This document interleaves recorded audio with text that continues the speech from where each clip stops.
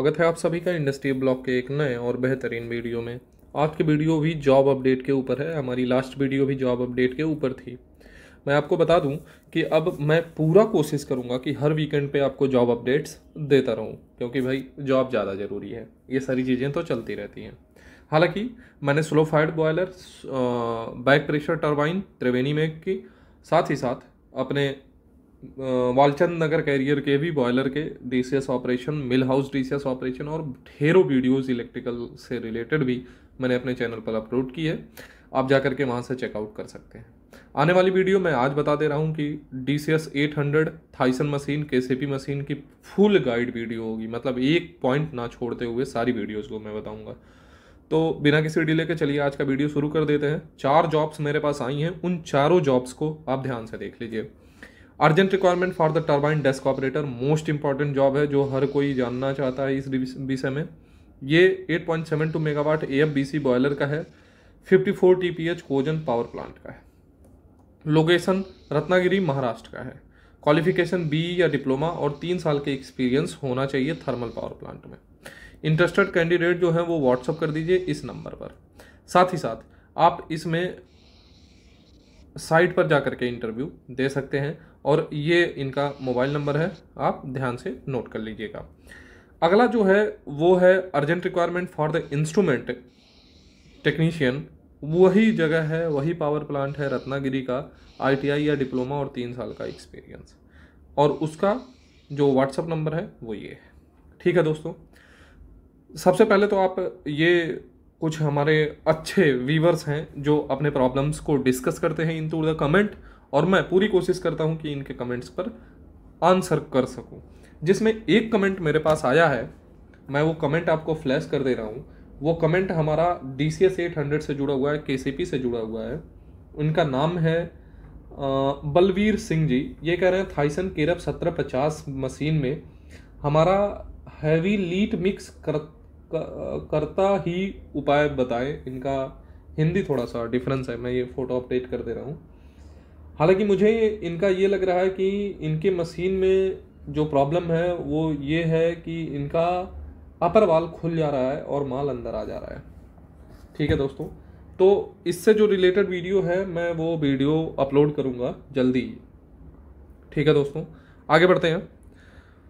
अगला urgent requirement है M S Phoenix solution के द्वारा। ये कोल हैंडलिंग प्लांट है और तरन तारन पंजाब का है नज़दीक का ही है। M W F cum hydraulic fitter दो सैलरी रेंज पच्चीस से बत्तीस हज़ार, तीन से पाँच साल कोल हैंडलिंग प्लांट में। दोस्तों, एक फिटर को, एक इलेक्ट्रीशियन को बत्तीस हज़ार, चालीस हज़ार देना आज के टाइम पे मामूली बात नहीं है। जिस तरीके से जॉब की डिमांड्स बढ़ रही हैं, लोग जॉब में रुचिकर हो रहे हैं, इतनी सैलरी देना थोड़ा सा टफ है। तो मैं ये कहूँगा कि जो इस फ़ील्ड से इंटरेस्टेड नहीं है, जो नहीं जाना चाहते हैं, वो भी एक बार को दें, क्योंकि हम जॉब कर रहे हैं पैसों के लिए।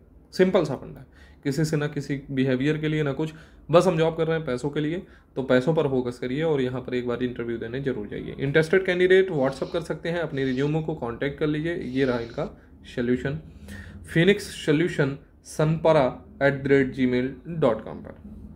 अगला है Bharat petroleum cooperative limited refinery at Bina Madhya Pradesh. एक चीज़ मैं आपको बताना चाहता हूँ, ध्यान से देखिएगा। बीना हो गया। कुछ ऐसे लोकेशन है जो मैं बता रहा हूँ। अनपरा हो गया। हिंडालको वाला सेक्शन हो गया। वहीं पर हमारा मॉन्टी कॉर्लो भी है।